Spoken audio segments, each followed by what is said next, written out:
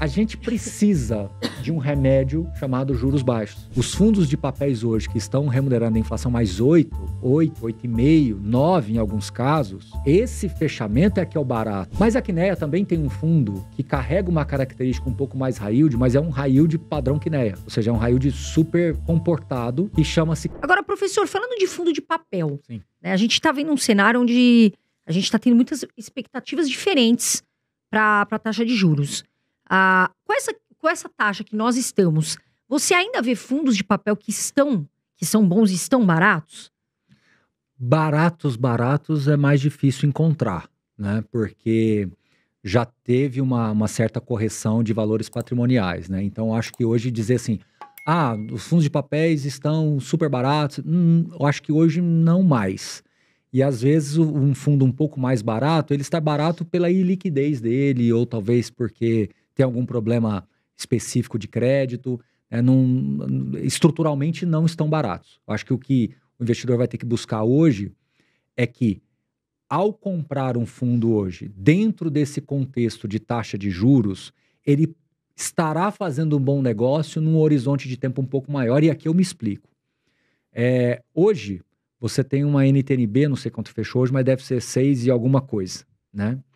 Se você considerar que uma inflação mais 6 e alguma coisa não é o normal da média, e o normal da média é muito mais perto de 5, 4,80, 5, é, os fundos de papéis hoje que estão remunerando a inflação mais 8, 8, 8,5, 9 em alguns casos, esse fechamento é que é o barato, Carol. Então, ao mesmo passo que eu digo, eles, eles não estão baratos do ponto de vista de PVP, mas estão baratos do ponto de vista estruturais, assim, é, é, pensando no horizonte mais longo, em que essas taxas de juros não deverão ficar no patamar que estão agora, o valor patrimonial desses fundos pode corrigir com o tempo, porque eles são marcados a mercado. E o inflação mais 8, 9 que você está travando agora com base nesses preços de hoje, ainda que o PVP não esteja tão descolado assim, vai ser um tende a ser um bom negócio se você considerar essa premissa da NTNB como fonte de comparação. E aqui eu vou me explicar até diferente.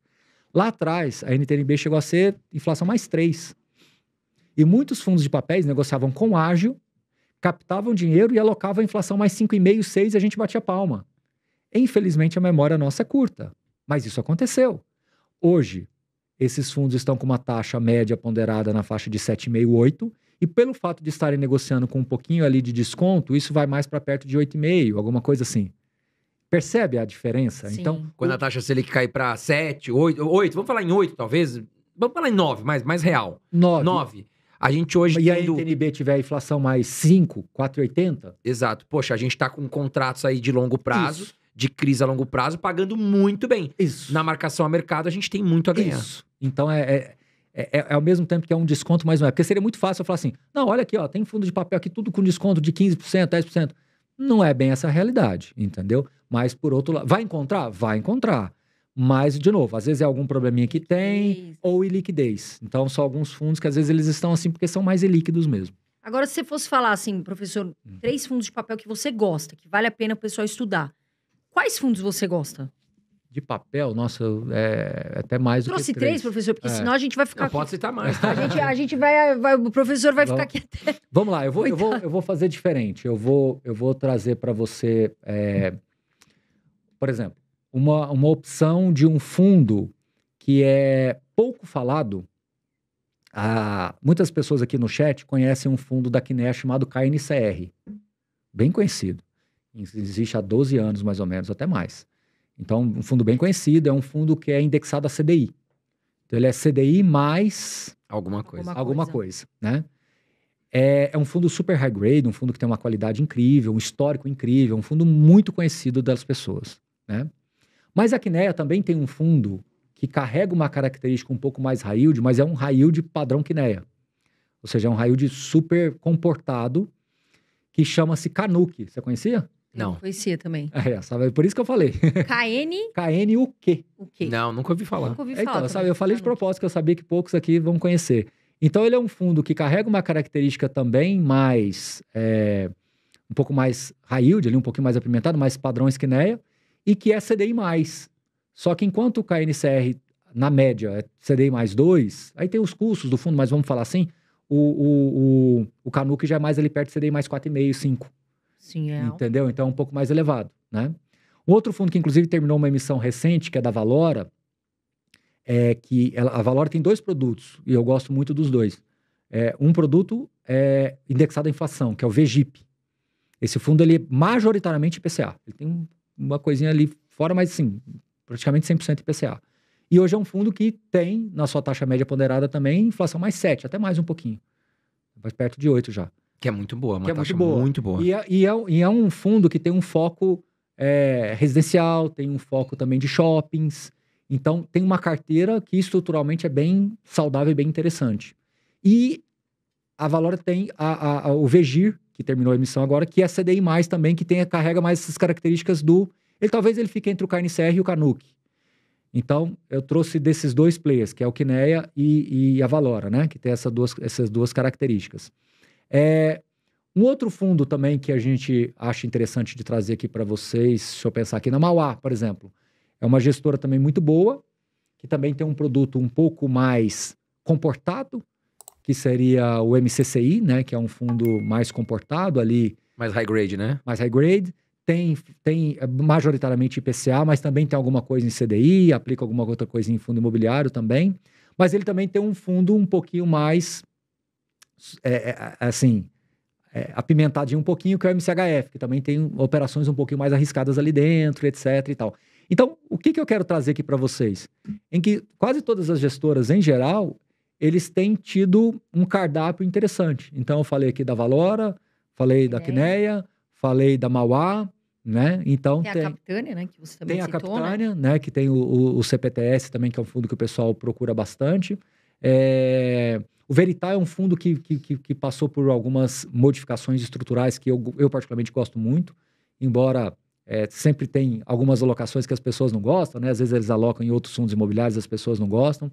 É, Bom, enfim, tem muitas gestores que fazem um bom trabalho. A REC faz um bom trabalho com o REC-R, tem as suas dificuldades lá com o de logística e o, de, e o corporativo, mas tem também ali na, na, na- na- na- no portfólio de, de recebíveis um produto interessante, né? Ainda dentro do Quineia tem um outro produto que é interessante falar isso, que poucas pessoas sabem, que é, inclusive o fundo está em oferta agora. É, é um fundo chamado KNSC. E aí, Carol, por que, que eu quis só falar para o pessoal observar que tem alguns fundos que, ao invés deles se posicionarem em IPCA ou em CDI, eles fazem um portfólio híbrido. O KNSC é um fundo que busca essa hibridez de alocação. Então, ele tem um pouquinho de IPCA e um pouquinho de CDI, entendeu? É baita fundo também. É. E o RDM, hein, professor? Então, o IRDM é um, que é um dos fundo- maiores números de cotistas, né? Fundo de papel também. Um, do- um dos, um dos maiores, né? Tem bastante, é. O IRDM, ele tem uma... uma, uma- ele, ele tem que ser dividido na história em dois momentos. E o terceiro momento dele talvez demore um pouco. Então, o primeiro momento dele foi um momento de super euforia. Era um fundo que negociava com ágio de 30%, 40%. Ele fazia emissões é, vu- vultosas, né? E gerava, assim, muito é, alfa para os investidores com relação a arbitragens, etc. Então, ele pagou elevadíssimos rendimentos mensais justamente porque ele conseguia, é, dentro do portfólio dele, fazer giros ali de arbitragens e, e- e remunerar o cotista com rendimentos elevadíssimos. Ele sempre procurou ter um portfólio também híbrido entre IPCA e CDI, então ele surfou muito bem os dois momentos. É, então, foi um momento de muita eloquência. Salvo engano, o fundo veio ao mercado em em 2018, se eu não estiver enganado. Então, eu diria que até ali, mais ou menos 2022, final de 21, início de 22, alguma coisa assim, ele foi um fundo muito demandado pelos investidores, muito conhecido, muito atrativo Liquidez absurda. né? liquidez, né? Num dado momento, em função de algumas posições que ele tinha, é, ele passou a ter um pouco mais de dificuldade de fazer esses giros. Então, ele, ele passou a ter dois problemas. Ao passo que ele passou a não conseguir fazer mais tanto ganho de capital, o mercado começou a colocar um prêmio de risco maior nele é, e, consequentemente, ele ficou abaixo de patrimonial e o gestor não consegue fazer emissão. Então, ele não conseguiu fazer emissão, porque, assim, quando você tem um problema num fundo, o, o Carol, é muito importante as pessoas que nos acompanham aqui entender isso. Ter problemas em fundos imobiliários é normal. Só que quando você tem um problema em algum fundo imobiliário e o gestor consegue fazer emissões, ainda assim a janela está aberta para emissões e ele cresce, esses problemas se tornam pouco relevantes. Eu falei para você agora há pouco e vamos recapitular. O MXRF é um fundo que tem alguns probleminhas lá dentro, mas é tão irrisório que as pessoas nem falam mais. Muito possivelmente dos um milhão de investidores, a grande maioria sequer sabem desses problemas, que está lá há 10 anos. Sim. Mas ficou tão irrisório que ninguém fala é mais. que ele tem de o fundo bom, vem né? fazendo ofertas milionárias, bilionárias agora, né? É, e ninguém fala mais nada, né?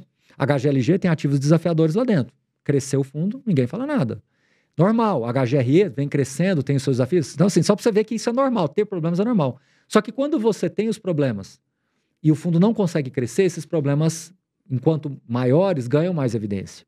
Sim. E a gestão do IRDM vinha diminuindo participações em algumas dessas posições mais arriscadas. Só que num dado momento, ele, ele se viu numa situação em que ele não poderia continuar reduzindo essas posições. Por quê? Porque fundo imobiliário é um produto fechado. Então, quando você vende alguma participação com prejuízo, contabilmente isso impacta o seu resultado. Então, se você eh, tem, por exemplo, um real de prejuízo contábil e a sua renda seria um real, você, na verdade, não pode distribuir nada. O administrador não deixa você distribuir. Você está com zero. E, e como o fundo imobiliário é feito por investidores, pessoas físicas rentistas, você distribui zero, é um caos. Então, Oh. é um horror. Ninguém recebe nada. Exatamente. Então, o que, que acontece? O gestor vinha diminuindo posições, só que num dado momento ele não conseguiu dar sequência nessa redução de, de, de, de- de posições. Então, o processo de reciclagem que vinha numa velocidade acelerada, ela agora está muito lenta, mas ela está acontecendo. Tanto que ele já chegou a ter quase 26, 25, 26% em cotas de outros fundos imobiliários. Hoje deve estar uns 17. Me perdoe se eu estiver errado, eu estou meio que de cabeça aqui, tá? Talvez vai chegar em 10 e aí os problemas vão ser muito menores. Só que isso vai demorar algum tempo. Então, o primeiro ato foi de extrema eficácia, o gestor super reconhecido, né, todo mundo realmente batia palma. O segundo ato, aí, o segundo momento do fundo, que talvez já esteja durando uns dois anos, é dessa reciclagem gradual e aí o mercado questionando a capacidade da gestão o tempo todo, questionando as decisões de investimentos das- do, do- do- do- gestor, e a gente entende, mas decisões são decisões, né? Aí volto na diversificação. Se você tinha 5% da sua carteira nesse fundo e 10, 15%, da- a gente na nossa conta lá cerca de 10% é um desafio, quanto que é 10% de 5%? Se eu não errar, a conta é meio. É isso aí. É isso aí? É isso aí. Isso. Então, quem tem uma carteira bem diversificada está sofrendo com meio por cento do patrimônio. Não tô, não, tô, não tô relativizando os erros. Eu estou só ponderando aquilo que as pessoas deveriam entender. Né? Claro. Afinal de contas, é, são Meio é uma coisa, um, dois, três, né? É Não, diferente. mas assim, mas né? assim, é só para dizer que ainda que seja um, mas é dentro de uma diversificação e dentro de uma de, de uma O patrimônio de sofre pouco. é isso, mas e a, e a gestão vinha fazendo essa, essa redução, né?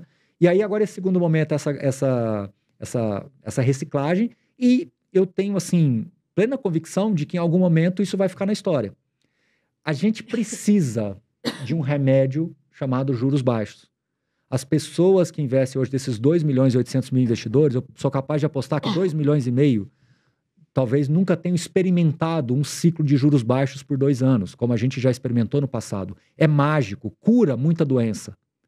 Então, um fundo desse, que hoje está negociando, desculpa, também não sei o número de hoje, mas vai, 15% de desconto patrimonial, está precificando que uns 10% de dificuldades que tem lá dentro vale zero, que na minha opinião não vale.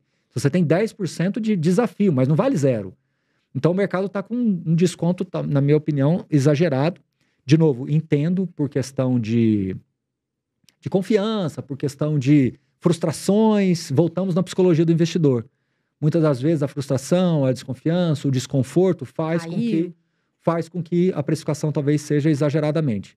Da mesma forma que quando você enxerga muito valor, você começa talvez a colocar um ágio excessivo em também coisas que não necessariamente valham, né? Então, felizmente assim é o mercado e a gente tem que saber conviver com isso. né? Tem potencial, mas tem que arrumar a casa, né, professor? E Tem alguns desafios. Se fosse um fundo aberto, era fácil arrumar a casa, né? Você vende tudo e a vida segue. Exato. Mas como é um fundo fechado, imagina virar para você que é cotista do fundo, para você que é cotista do fundo, falar assim, gente, vamos fazer o seguinte, eu vou resolver o problema, só que a gente vai ficar um ano e meio, um ano sem renda. Nossa, Você o cara entra em Cara, desespero. desespero. cara Mas, vende. mas no fundo, no fundo, resolveria. No, Sim. no final das contas, resolveria, mas. Como falar isso pra 400 mil pessoas que Não investem no, no fundo? Que eu acho que é isso, mais ou menos.